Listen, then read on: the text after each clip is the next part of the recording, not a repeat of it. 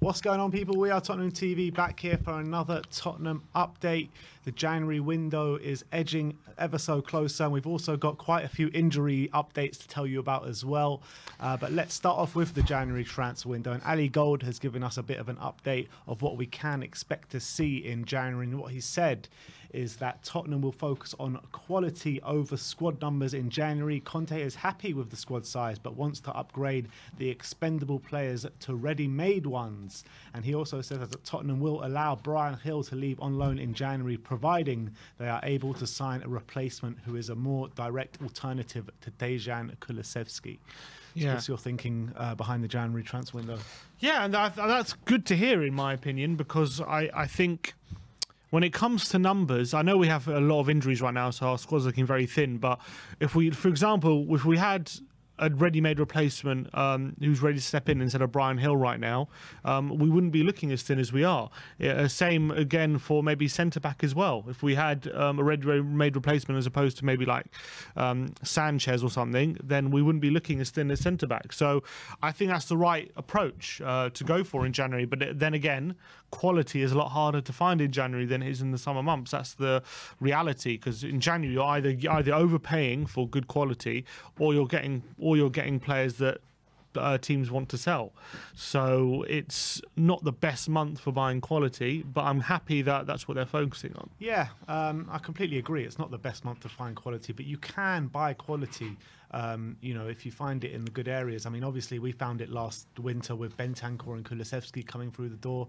Uh, that's up there with the best transfer business in January we've probably ever done. And if we can get players of the same kind of quality as that, then uh, I don't think anyone will be complaining, will they? Yeah, but you have to be a bit lucky in a sense. Like Juventus, for some reason or another, they were discarding Bentancur and Kulusevski. They were ready to sell them. In most other teams who have the, who have quality players like Kulusevski and Bentancur, wouldn't be treating them like Juventus treated them. So you have to be um, smart and you have to be a bit lucky as well. So you have to get to find the quality, like in, in terms of getting deals done, like Kulusevski and Bentancur. So I feel we're smart enough. We can get them, we can find them, but it's uh, but you have to be uh, have that bit of luck as well. Yeah, and um, it could be the case with this next man that we're going to bring up in Ruslan Malinovskyi as Il Giorno, who's an Atalanta publication, uh, saying that Tottenham representatives are already moving for the potential Malinovskyi deal in January. He is likely to cost around 15 million euros, which is 12.9 million pounds. Obviously, uh, we spoke about Malinovskyi all of last summer,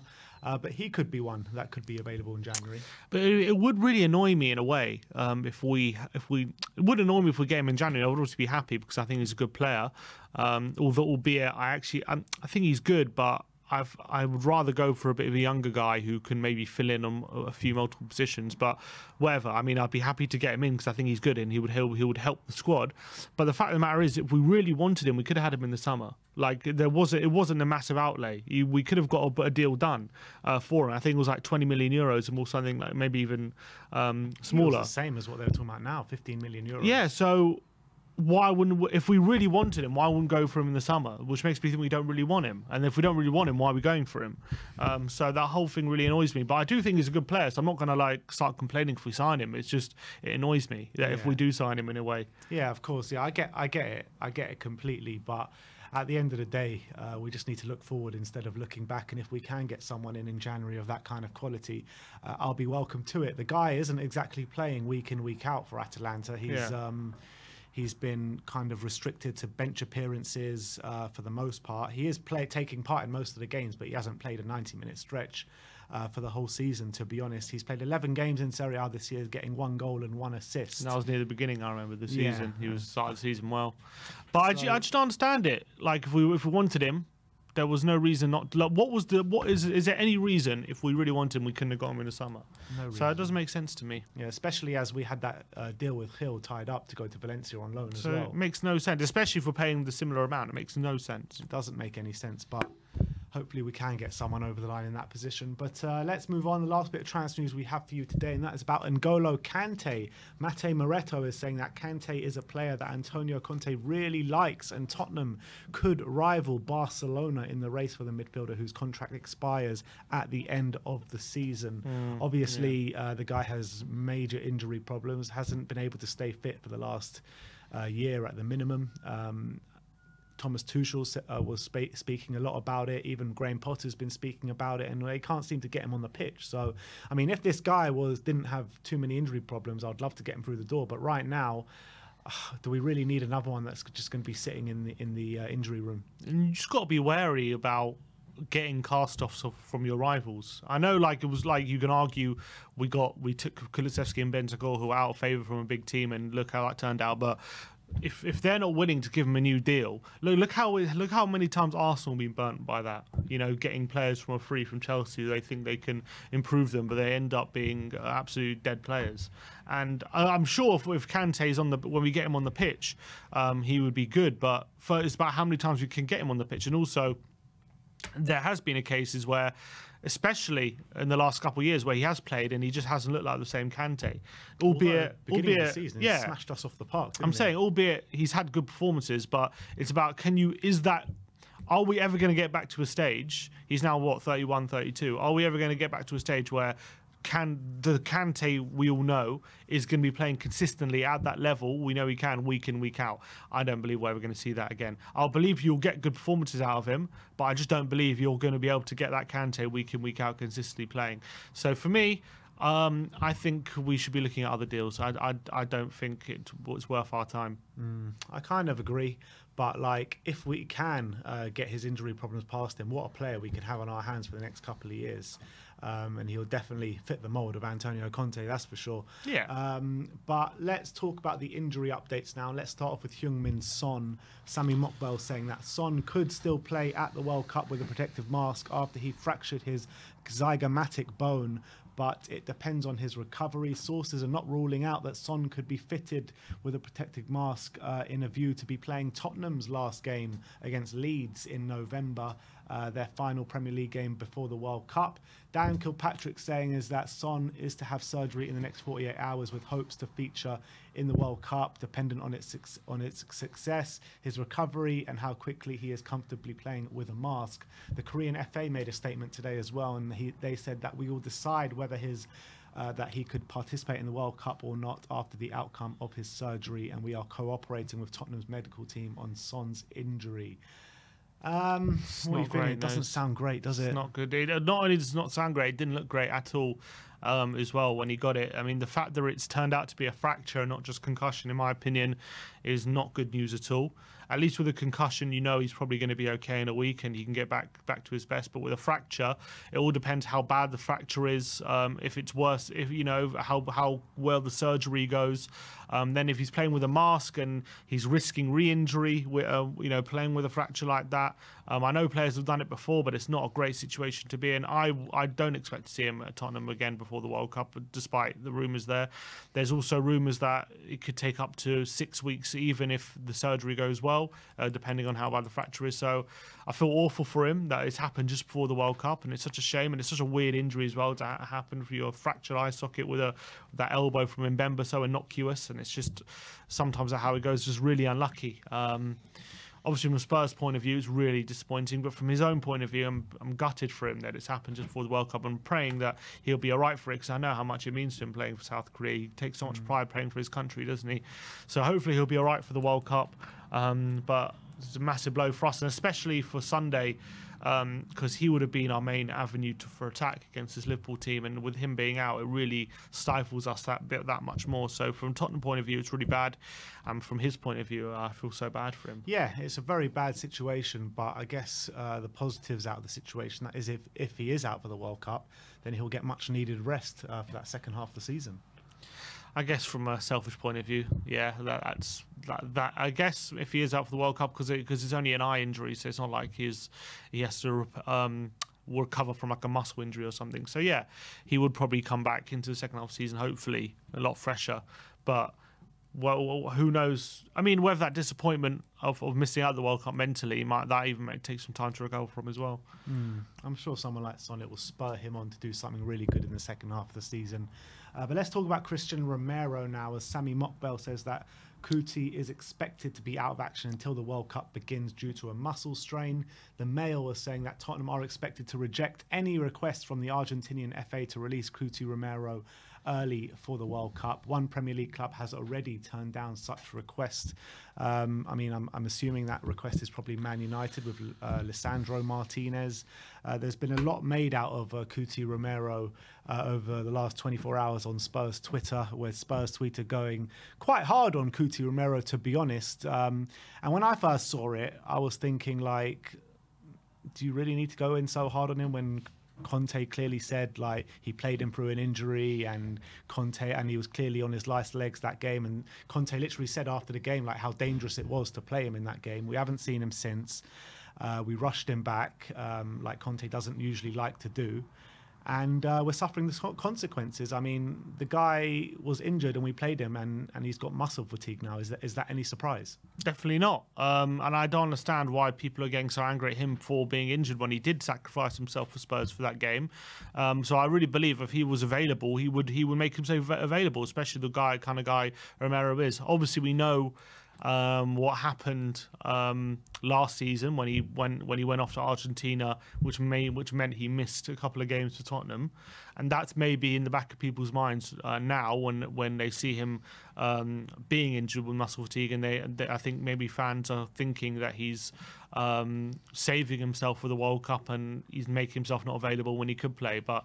I don't believe that's the case. There's no evidence for it. It's just a theory. It's just rumours, really, uh, of, of, of that happening. So I don't see it making any sense to get angry at him for being injured when, from what we can see, all the evidence suggests that he sacrificed himself to play for Tottenham in that game against Sporting. So there's no, I don't see any reason uh, and, to be angry. And also, Conte um, has come out and said in the past that even when he hasn't been picked, he's always made himself available to be picked, and and it's up to the medical staff and Antonio not to pick him to to protect the player, right? In that particular game when he did play, Spurs didn't do that, but in the game surrounding that, Spurs did do that, and Romero did make himself available to play those games. So I think there's there's also a bit to say that sometimes Romero maybe doesn't make himself available when um, up when international breaks are up and coming. But I think that's only happened once, and people were making out like it happens every time there's an international break. Uh, Cuti Romero is not available. Um, so I've I've kind of looked at this bo- from both ways. I, am but I'm much more favouring the way that um, what Conte is saying that he always does make himself available, and um, you know he's a talent for the team, and he always puts himself um, on the front line for the team as well. So to go in so hard on him, I think, is wrong. To be honest, if uh, if it was a hypothetical, say he had like he had muscle fatigue, and if he did play, there was like a twenty five percent chance of injury, um, and he said, "I'm I'm making myself unavailable." Is that would you would you say that's right, or would you say no? He should be he should um, if Conte wants him in the lineup, he should be playing.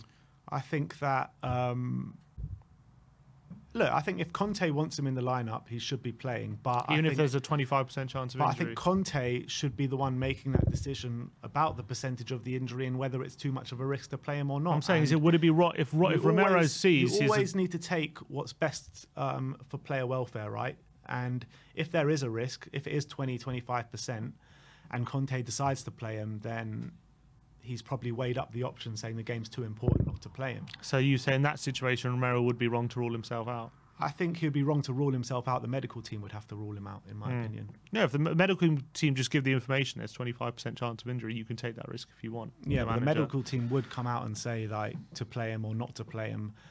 But I, I wouldn't want to play him if there was a risk at all, to be honest. And we've seen that in the past with other players. Like why risk him for a longer term injury mm-hmm. when when you can just miss out one or two games? You know what I mean? Exactly. Um, that's how that's I feel about the situation. Um, but look, people feel like the way they want to feel. People want Cuti Romero back so desperately. That's why they're going yeah. on that. And there are people like, oh, Spurs pay your wages, so you you know, even if you're risking injury, you should be make yourself available for Tottenham because they're the ones who pay your wages. And also, the fact of the matter is, is like we have a medical team. It's not down on Cuti Romero to rule himself out. No one said that Cuti Romero has ruled himself out. How do we mm-hmm. know this information is not coming from the medical team? We don't. I'm just giving a hypothetical. No, I'm just yeah. saying in terms of this this whole situation, the Spurs a bit, all these Spurs fans coming on Twitter being like, "Oh, he's being a disgrace. Oh, he's ruling himself out. Oh, he's just focused on Argentina." How do we know this information is not from the medical team? How do we know the medical team haven't pulled him out? Exactly. We don't. Exactly. So I think people need to calm down a little bit. But I think that the quotes, there are quotes from Harry Kane, and you know he was asked about, um, himself and and how players are preparing for the World Cup and stuff like that.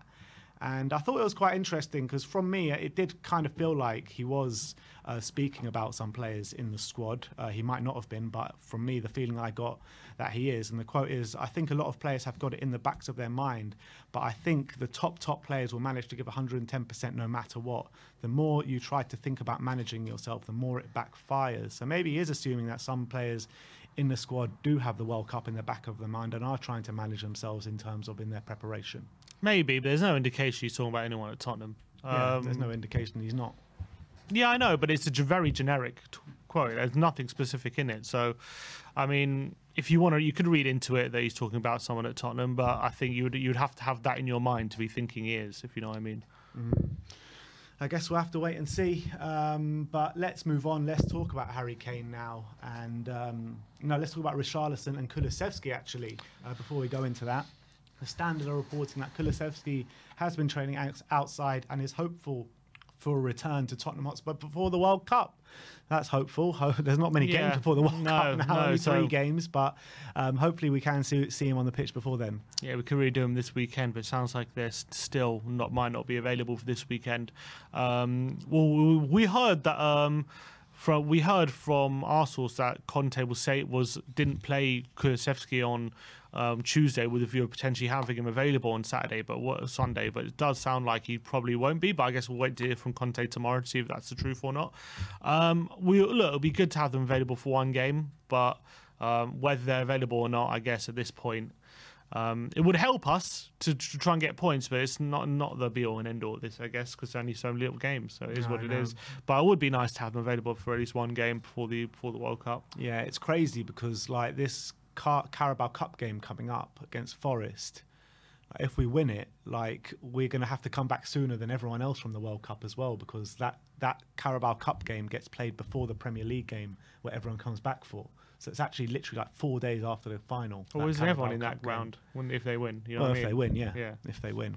So, um, yeah, I mean, so it wouldn't be too bad to go out, I guess. But uh, when we need a trophy, you need only only for every chance you can get. Yeah. But yeah, if it, let's say England get to the final, then Kane potentially. I mean, I don't know if he obviously if we get to the final, I'm assuming though he would be left out, but he could potentially have to play four days after the final, which would be mad. And like for the players going, getting to the final, like how long are they going to get off after the World Cup? Like, are we really? They can't. They, are they really going to come back a week later? Depend uh, for all yeah for all the people in the final they'll, they'll probably get an extra week off. I'm assuming, but they can't. I, they literally can't have more than that because this is a this is this is the this is the business. You know, look, these um you can't have like a month off when we have a whole month of games. You know what I mean? It's, even if you're in the final. But you know, the German league is coming back a month after the Premier League, literally a whole month after the Premier League. Yeah. The Italian and Spanish league are coming back like a week or two after the Premier League. Yeah, I think there is in January. I think they fitted in a week break or something somewhere in the Premier League. But it's still, a, I mean, it's just this country is obsessed with playing on Boxing Day. That's the whole thing. We have to have a Christmas. We have to have a Boxing Day. So that means we have to play a week after the World Cup, and that's equally as ridiculous as having a Winter World Cup as well forcing these players to come back so soon, and uh, no one cares about these players apparently. So nobody cares about these players, and to be honest, yeah, I don't really care about this World Cup. I really don't. But mm, um, yeah. It's the it's the, the, the World Cup that I'm least excited for in my whole life, and mm-hmm. I'm usually really excited for the World Cups when they come around. Yeah, uh, it's very frustrating. But uh, let's move on. Let's talk about Harry Kane. And Harry Kane will be awarded the Freedom of the City of London at a special ceremony in January as a result of his sporting achievements. So big up to Harry Kane. Nice. Freedom of the City. And people say he hasn't achieved anything in his career. there you go. Look at that. Freedom of the City. And he deserves it. You know, Golden Boot. He's going to be the England's top, top ever goal scorer. He'll probably break it as well at the World Cup. He's won a World Cup Golden Boot. He's um, not far off Tottenham's all-time top goal scorer. Um, he'll please, you know, he's on his way to becoming the Premier League all-time go- top goal scorer as well. So uh, I think definitely he's one of England's best ever players, and I think it's about time he gets some recognition. Yeah, one of our own as well. Damn right. Um, and last but not least, let's talk about that Champions League last 16 draw. Uh, football data analyst Jan van Haaren has given us some percentages of who is the most likely team for Spurs to draw. Um, so out of the five or six different um, teams that Spurs could face, number five eh, with a level percentage of 14.2 is Club Brugge and PSG. 17.3% you have AC Milan. 17.4% you have RB Leipzig. 18% is Borussia Dortmund, and most likely team for Spurs to face in the next round is a romantic tie for Antonio Conte with Inter Milan at 18.9%. But how do the football data scientists come up with these kind of percentages? Um, it's just about who finishes first and second in the group. So because like because there are German teams and Italian teams who finish top of their groups, it means they can't play the German teams and Italian teams who finish second, which there are a few. There's Frankfurt, there's Dortmund, there's Leipzig, who all finish second. Um, and for and for Napoli, who finished top, there's um, AC and Inter also finished second in their their group. So because those top teams can't finish, can't play those teams, it makes it uh, more likely that the other teams who finish top um, are going to get drawn against those teams because they already get ruled out. So that means it's more likely we're going to get one of the German teams or Italian teams because the other teams um, can't play them. So that's how it works. Yeah, well, it's interesting, but the like the percentage of likelihood's not very like big, is it? I mean, No. from bottom to top is literally only like less than five percent. Yeah, and then and then it's important to know as well because Benfica absolutely battered. oh uh, Haifa yeah, that was yesterday. unbelievable. Uh, that means PSG have now dropped into second place, which was was, was unthinkable before kickoff, but it happened, and Apparently it it means was away goals that they qualified on. What away away goals? Wow, which uh, which is crazy, and that means we we have possibility now of playing PSG uh, in the in the not on Albeit um, the lowest possibility. It is, but it's still a possibility nevertheless, and that is not a game that we uh, want to be facing in the round of 16 because you know they're playing very well at the moment, PSG. So not great that that happened, but is what it is. It could be a glamour tie as well if we do face them. You don't fancy taking on Messi and Mbappe? Not not particularly, and Neymar and all who, whoever else. Mm. It would have been they nice. seem It to be would have been act nice if. Poch was still their manager. They seem to be getting their act together a bit, PSG now. Very Um, good manager, Galtier. Yeah, Galtier seems to be doing a good job. So, I mean, that's not a tie I want to be facing. But you know what? Like, you're going to have to face one of these teams in the next round anyway. hmm So I mean, why not just test our wits and, and see if we can do it? yeah, I guess it could be a glamour time. Maybe it will raise our game. But I'm not bothered about who we get in this next round because I know that if we get the hardest team, like we're going to have to face them in the next round anyway. mm, You know what I mean? Like, if we get through this round, then in the quarterfinals, you're going to play. You're going to play an elite team, aren't you? Pretty much. Yeah. I guess. So there you have it. That is your Tottenham update for today. Let me know in the comment section below if you have any thoughts regarding any of the news stories we brought to you today. Smash that subscribe button and that like button on your way out. Like, subscribe, and comment. And as always, Come, on, you Spurs. Spurs.